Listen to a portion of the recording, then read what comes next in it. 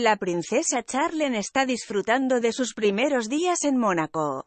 La mujer de Alberto ha regresado, por fin, al Principado tras más de seis meses encerrada en Sudáfrica. La exnadadora ha vivido unos meses un tanto complicados tras sufrir una grave infección otorrinolaringológica, oído, nariz y garganta, por la que ha tenido que ser intervenida quirúrgicamente hasta en tres ocasiones.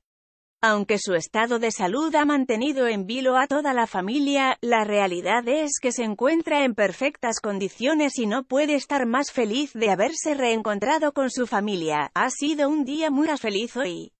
Gracias a todos por mantenerme fuerte, confesaba emocionada por volver al lado de su marido y sus hijos, Jax y Gabriela.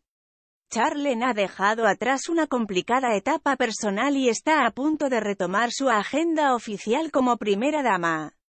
Ya sabemos cuáles son las grandes citas a las que va a tener que asistir. Charlen ya ha pisado suelo monegasco y sus obligaciones no han hecho nada más que empezar. Ya recuperada de su contratiempo de salud, su primer evento oficial con la corona está fechado para el próximo sábado 13 de noviembre. La princesa y Alberto de Mónaco viajarán hasta Dubái para asistir a la exposición universal que se inauguró el 1 de octubre. Esta asistencia supondría la primera reaparición pública de la ex deportista.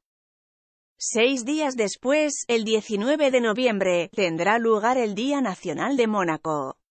Las calles del Principado se vestirán de gala y Charlen podrá sentir, por fin, el calor de sus seguidores.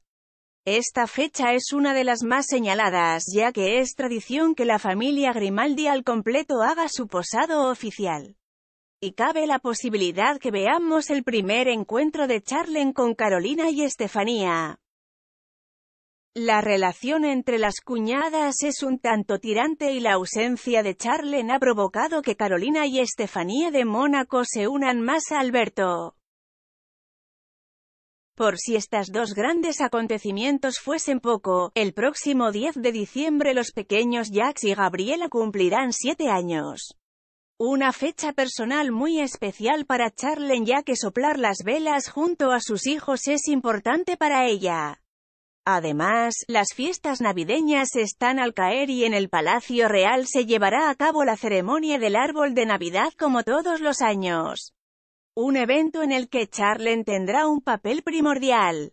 Se avecinan meses de no parar.